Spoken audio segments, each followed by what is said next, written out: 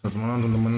Malam ini kita akan sedikit uh, membahas um, elemen HTML. Kita akan membuat sebuah testimoni gitu ya. Kalau kemarin-kemarin kita bikin sebuah fitur, jadi uh, dibagi dua kolomnya. Sekarang kita sama nggak beda jauh, cuman ada beberapa elemen image yang kita terapin. Jadi nanti akan seperti ini contohnya ya. Tuh jadi nanti teman-teman bisa bikin ini untuk testimoni. Ntar uh, judulnya ya terus testimoninya apa terus foto usernya terus nanti nama usernya siapa gitu ya. Ini penting banget sih testimoni. Kalau kayak di Starbuilding aja kita tapi bukan sebisa mungkin jangan testimoni bohongan ya karena uh, namanya bisnis kita semua itu harus real gitu ya.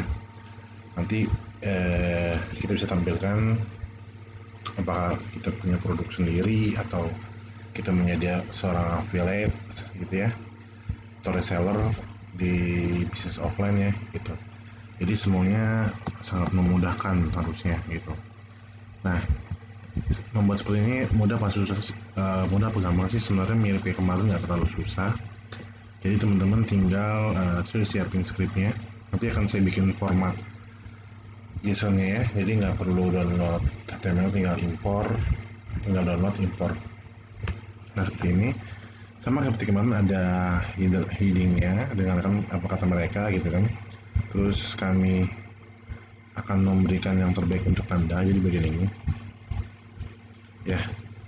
Terus dia akan masuk ke ke grup satu ke row satu ini.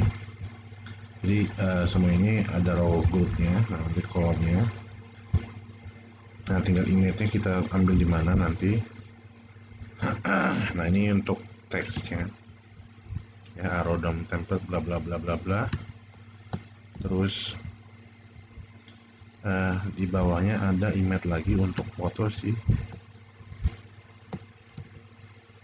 user ya foto user terus nanti di bawahnya ada lagi sematan nama uh, siapa uh, customer kita yang sudah memberikan testimoni gitu ya. Ini sama juga kolom-kolom kayak gini. Ini teman-teman tinggal sesuaikan image-nya aja nanti. Jadi sebenarnya kalau kita membuat landing page seperti ini kita harus banyak aset image ya jadi bisa uh, memudahkan ini teman-teman tinggal tinggal sebenarnya tinggal tinggal apa namanya tinggal download JSON ntar kita sudah sediakan JSON-nya jadi nggak susah susah lagi. Itu ya teman-teman ya. Jadi uh, harusnya sih mempermudah dalam teman-teman untuk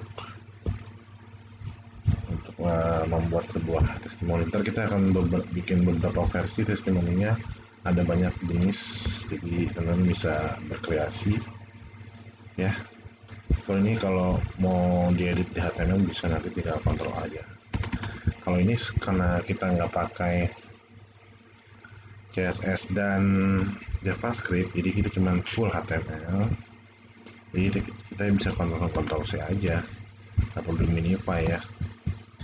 Nanti di HTML nya kita edit. Ya tadi kita paste langsung.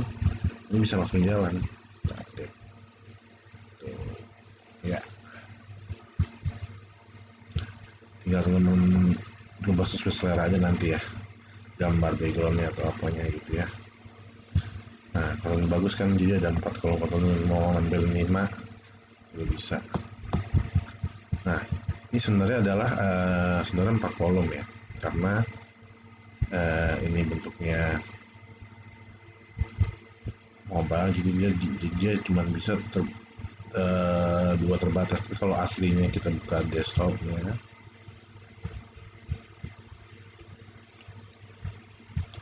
dia menjadi empat. Ya bisa lihat ya.